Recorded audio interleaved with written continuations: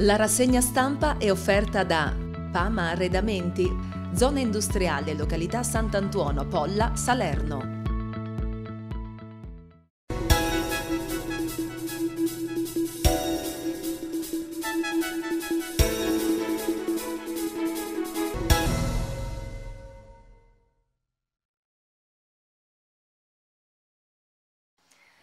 Buongiorno, buon sabato e bentrovati all'appuntamento quotidiano con la rassegna stampa qui su NoTV. Sfogliamo insieme le pagine dei principali quotidiani in edicola questa mattina. Cominciamo dalla prima pagina del Mattino Nazionale. Andiamo subito a vedere cosa troviamo in apertura. Trattori, il fronte si spacca. Meloni, taglio IRPEF ai redditi bassi. Prima intesa, ma l'ala oltranzista degli agricoltori dice no. Giustizia, ridotti mesi di tirocinio, giovani magistrati nei tribunali per rafforzare gli organici. Ci spostiamo al centro della pagina. Per la fotonotizia si parla di Sanremo. Mango Jolier sfida Made in Sud, festival, ovazioni per Cocciante Vecchioni, stasera gran finale, il napoletano parlato che batte la grammatica, dai fiori ai piedi nudi, vince il Fanta Sanremo. E ancora di taglio laterale, mio padre ucciso a Napoli 38 anni fa, giustizia è fatta, agente freddato durante una rapina, presi killer, la figlia vidi i ladri e lo chiamai, era la cosa giusta. Ancora sempre di taglio laterale per quanto riguarda la campagna abbiamo loghi istituzionali anti-autonomia nella bufera ANCI e Regione e ancora la mamma di Giorgio pronta a candidarsi alle europee. Ci spostiamo di spalla per l'analisi, le troppe anime che fiaccano la protesta. Punto di Vespa, se la vera battaglia si combatte in Europa. Ci spostiamo adesso di taglio basso, andiamo a vedere che si parla della guerra in Medio Oriente. Evacuare i civili da Rafah, Israele ordina l'ira degli USA, Netanyahu lì quattro battaglioni di Hamas. E ancora per quanto riguarda lo scenario, riflettori sul Cairo, ma via, dalla, ma via della pace sempre più stretta. Questi titoli che troviamo sulla prima del mattino nazionale che lasciamo, adesso ci spostiamo sulle pagine dedicate al primo piano e andiamo a vedere che qui si parla della protesta dei coltivatori. Leggiamo il titolo Meloni taglio IRPEF ai redditi bassi, agricoltori spaccati. Ricevute le sigle della categoria Lollobrigida esenzioni per il 90%, tensione Lega, Fratelli d'Italia e Salvini alza il tiro, si può fare di più. E ancora andiamo a leggere. A Palazzo Chigi il vertice convocato dal Premier in Europa vi abbiamo sempre difeso. Poi c'è la mediazione del Ministro, incontro con i leader del movimento Riscatto Agricolo al Dicastero. Trafiletto sulla vicenda, l'inizio delle proteste, l'assalto a Bruxelles e l'arrivo dei trattori a Roma. Di taglio basso invece per le reazioni L'ala oltranzista rifiuta la tregua, non molliamo, invaderemo le città. I delusi andremo al Circo Massimo e saremo tantissimi. La lite in strada con l'associazione rivale.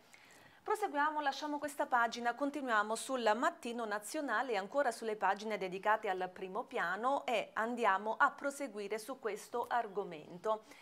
Qui la sfilata in centro, vediamo anche la foto, è il titolo I trattori non bloccano Roma, la capitale va rispettata. La marcia degli agricoltori contro l'Europa matrigna prevale la linea soft, niente barricate, sfilano solo in quattro. Sulla Nomentana si accampano altri 500 mezzi, l'accoglienza dei romani, ma liberate le strade. Vediamo anche la rabbia dei forconi per la protesta ridimensionata, il capo storico Ferro, dovevamo prenderci la città. La curiosità dei turisti a passeggio pittoresco e nel centro si maledicono buche e San Pietrini. Di taglio basso invece per quanto riguarda il caso e Lollobrigida va dai manifestanti. Michele 18 anni in lacrime, aiutaci. Il ministro a cena tra gli stand, il giovane ho lasciato la scuola per fare questo lavoro. E lasciamo anche questa pagina, siamo ancora sul Mattino Nazionale e sulle pagine dedicate al primo piano. Andiamo a vedere cosa troviamo nella pagina successiva a quella che abbiamo appena visto e qui si parla della vetrina più ambita perché c'è l'accordo con Sanremo, appello letto da Amadeus e ora torniamo a casa. Viale Mazzini nega il palco agli agricoltori, manca un leader che parli a nome di tutti. Il messaggio si riconosca il giusto valore ai nostri prodotti, oggi sono sottopagati. Ancora? La di Sergio, eh, si fanno troppe polemiche invece di dare spazio agli aspetti musicali e sociali. Poi abbiamo il trafiletto con il caso, Bandecchi già si ricandida, sarò sindaco di Terni. Di taglio basso invece per la polemica. Travolta, la RAI pensa alle vie legali per lo spot occulto delle sneakers. Nel contratto si è impegnato a non promuovere marchi, l'attacco di Gasparri c'è chi non ha mm, vigilato. E lasciamo anche questa pagina, proseguiamo, siamo ancora sul mattino nazionale, ancora sulle pagine dedicate in questo caso ai temi dell'economia con le misure economiche. Vediamo il titolo. Regioni salgono i fondi, aiuti alle giovani coppie, mille proroghe per i governatori, sconto di 45 milioni ai tagli della spending review, agevolazioni per acquistare la prima casa, niente imposta di registro e mutui più bassi. Al centro il grafico con le novità del mille proroghe. E poi leggiamo ancora gli emendamenti dei relatori di maggioranza sono stati depositati alla Camera risorse e meno burocrazia per le aree colpite dal terremoto, confermati i vertici del GSE. Di taglio basso vediamo gli altri interventi, salute. Altri 10 milioni per combattere disturbi alimentari. In Italia ci sono 3 milioni di persone che soffrono di patologie legate a bulimia, anoressia e vigoressia. Per il fisco, taglio delle sanzioni sulle tasse e proroga per la rottamazione. Su quanto non versato all'Agenzia delle Entrate nel 2022 si potrà pagare solo un diciottesimo della multa prevista. Per quanto riguarda il sociale, nuovi aiuti al cinema per i disabili incentivi legati alle assunzioni si potranno usare le risorse del Fondo Unico dello Spettacolo da 420 milioni che non sono state spese lo scorso anno. Proseguiamo, lasciamo questa pagina ancora sul Mattino Nazionale perché oggi ricorre un importante anniversario e dunque vediamo che ci sono le parole del Presidente della Repubblica Mattarella che ricorda le foibe, pagine buie della storia che sembrano riproporsi. La cerimonia al Quirinale fu il nostro muro di Berlino, ora l'antidoto è la UE. L'omaggio agli italiani di Istria, Fiume e Dalmazia, il Premier oggi a Trieste. Ancora. Il capo dello Stato, i tentativi di oblio o di negazione sono un affronto alle vittime e alle loro famiglie. Al centro la foto con l'incontro con Egea, l'ex bambina simbolo, vedete la foto Esole Giuliana.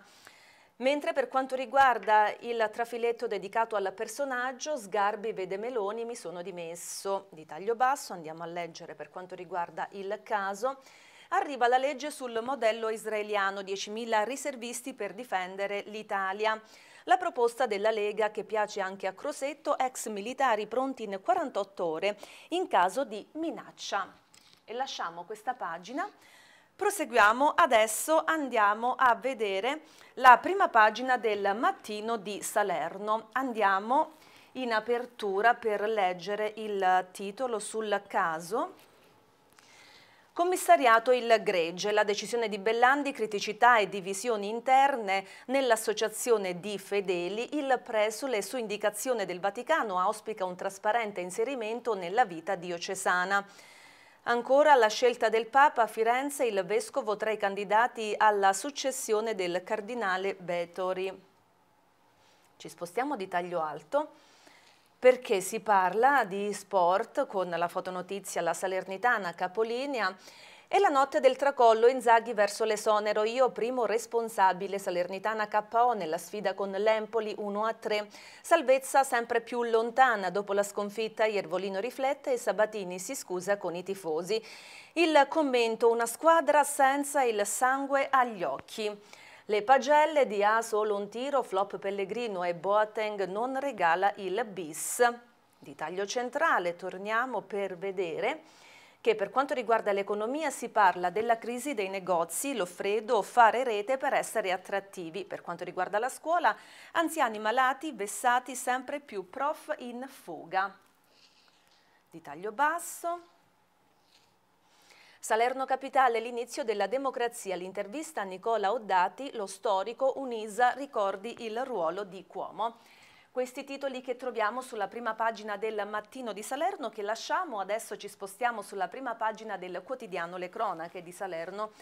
Andiamo a vedere in apertura di taglio alto sotto la testata, anche qui c'è lo sport con il crollo della Salernitana Inzaghi, guai ai vinti, l'Empoli sbanca 3-1, tecnico in confusione regala un tempo ai toscani, è ora di cambiare, nessuno dei trainer contattati accetta un contratto di 5 mesi, Ballardini e Semplici, a meno che Sabatini.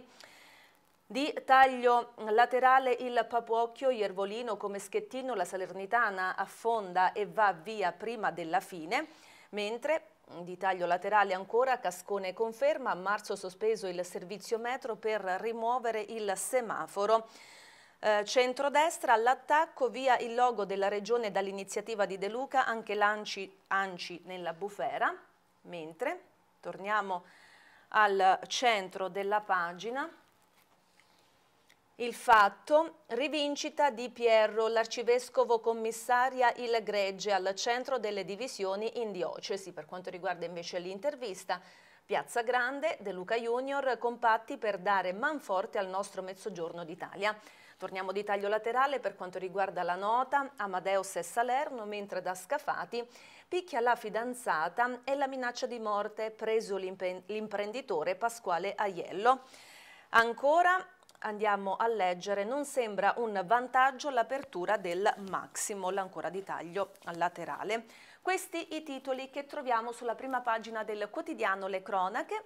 Adesso ci fermiamo per un po' di consigli per i vostri acquisti e ci ritroviamo tra poco. Bentornati in studio, proseguiamo con la nostra rassegna stampa. Torniamo sulle pagine del Mattino di Salerno. Andiamo a leggere la pagina dedicata all'economia e alla crisi. Vediamo il titolo.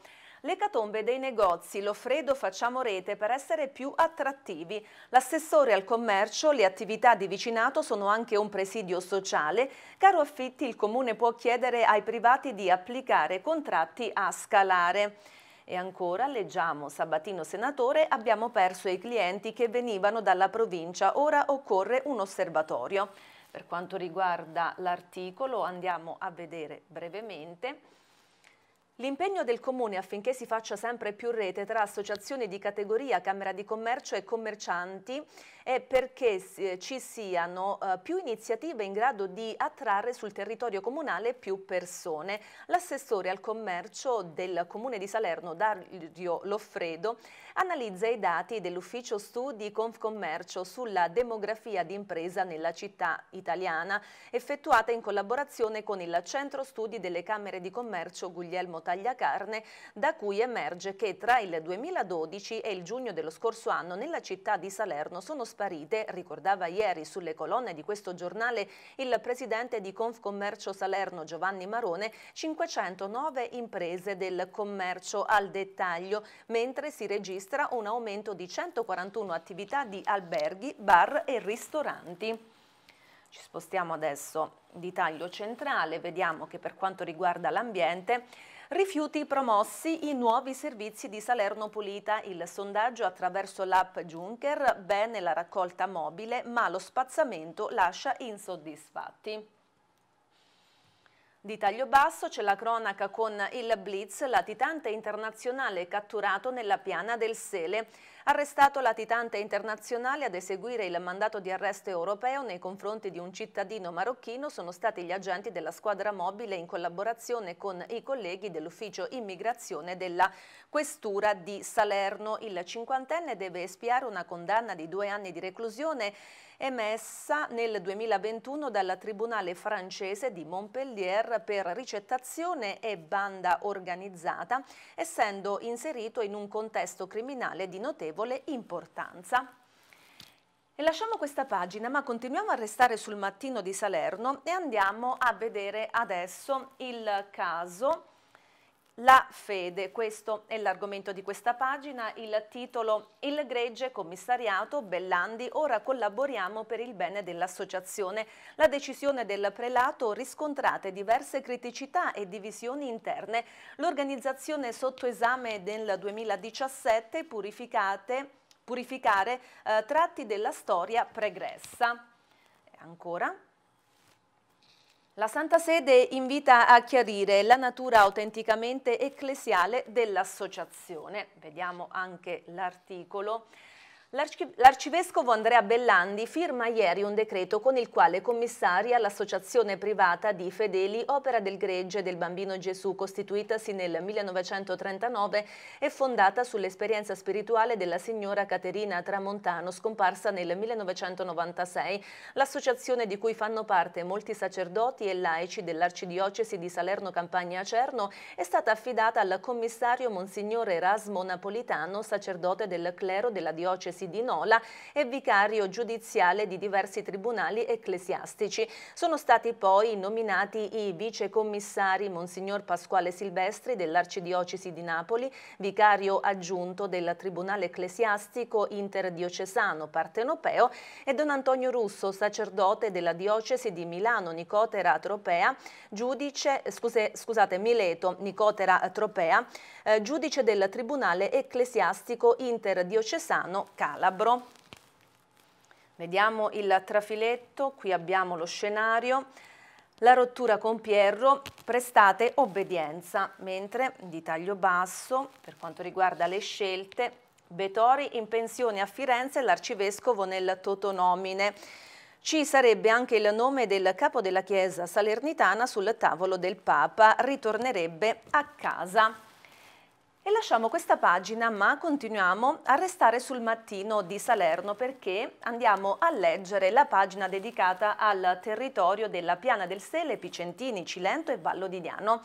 In apertura c'è la cronaca, vediamo il titolo, finti corsi formativi, introiti per 57 milioni, indagate 268 persone. Chiusa l'inchiesta dei finanzieri, 200 le aziende controllate, l'ipotesi credito d'imposta ottenuto con false attestazioni. Siamo a Vallo della Lucania, finti corsi di formazione, la Procura di Vallo conclude una indagine per 268 persone il lavoro della Guardia di Finanza di Agropoli tra il 2020 e il 2021 racchiude a seconda dei ruoli accuse quali associazione a delinquere, indebita compensazione di crediti d'imposta, falso e autoriciclaggio. Per l'accusa il meccanismo si basava su crediti inesistenti ottenuti grazie a false attestazioni di formazione di personale dipendente. Da Capaccio Pestum, comunali furbetti, caso archiviato. Di taglio laterale invece abbiamo da Vallo della Lucania, Cilentana, tempi certi per riaprirla, troppi disagi. Cilentana, dopo 50 anni la provincia vince la sua battaglia legale, la Corte di Cassazione ha posto fine all'annosa vicenda relativa ai corrispettivi per la eh, costruzione della strada risalente agli anni 70. L'impresa esecutrice Rozzi con contenzioso intentato dinanzi al Tribunale di Salerno nel 2001 reclamava oltre 18 milioni di euro in dipendenza dei contratti dal 1974 in poi nei quali era risultata aggiudicataria per la costruzione della strada. Al centro da Battipaglia Spinelli, commissario azzurro, palo per Italia Viva. Ancora di taglio laterale da Vallo della Lucania, allarme furti, collaborare con le forze dell'ordine. Di taglio basso invece abbiamo due notizie. Da Polla Sale operatorie, pronto soccorso e reparti, ok ai lavori da 5 milioni all'ospedale Curto. 5 milioni di euro per l'ospedale Luigi Curto di Polla. Si tratta della somma prevista nella proposta di accordo tra Governo e Regione Campania. La somma 3,7 milioni a carico dello Stato e 1,3 milioni a carico della Regione servirà per mettere in atto le opere di adeguamento sismico e adeguamento delle sale operatorie dei reparti di gastroenterologia e pronto soccorso del nosocomio. Sono molto soddisfatto per i 5 milioni di euro destinati all'ospedale di Polla. Ho seguito personalmente con grande attenzione l'iter di questo finanziamento che considero di fondamentale importanza perché consentirà essenziali lavori strutturali in reparti nevralgici per il nosocomio valdianese. Queste le parole del consigliere regionale Corrado Matera. Da Eboli invece abbiamo consulta della cultura esecutivo al completo. Lasciamo questa pagina e con essa anche il mattino di Salerno. Adesso ci spostiamo sul quotidiano Le Cronache. Siamo ad Agropoli, vediamo il titolo. Giallo, rilevazioni sulla Cilentana, la determina parla di violazioni. Il sindaco aveva detto che tali videocamere potrebbero essere propedeutiche ad un altro eventuale autovelox. La decisione porta la firma del comandante della polizia locale Antonio Rinaldi. E ancora... L'atto parla chiaro, istruttoria autorizzativa all'installazione di dispositivi per violazioni di comportamento.